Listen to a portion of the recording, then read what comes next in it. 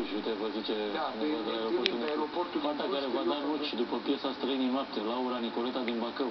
Exact. Vin și vă duc, obține. Laura Nicoleta, nu te uit Și niciodată. că mulțumesc pentru scrisoare. Ce? Gestul ăla, normal că I-ați dat ți-am scrisoare? scris, ți-am scris Tu. pentru că nu m-am așteptat după spectacolul Străinii Noapte să intri la mine în cabină și mă duci o pungă de nuci, că spusesem într-o emisiune că mie cel mai tare, dar cel mai tare în lume, îmi plac nucile. Ea a reținut și vine la spectacol, îl vede și intră la mine în cabină. Și o văd cu o pungă de nuci. Zic, cine ești?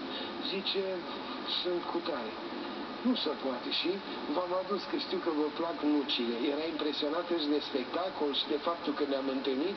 I-am luat adresa și bineînțeles că a doua zi a ajuns la București, i-am scris. Și i-am mulțumit. Nu e normal? Nu știu, n-am mai auzit Nikita așa. Stănescu, Un actor, marele nostru poet, poetul nepereche, pe care l-am avut lângă mine ani și ani de zile, Nikita Stănescu spunea, eu atunci am auzit cuvântul ăsta prima dată,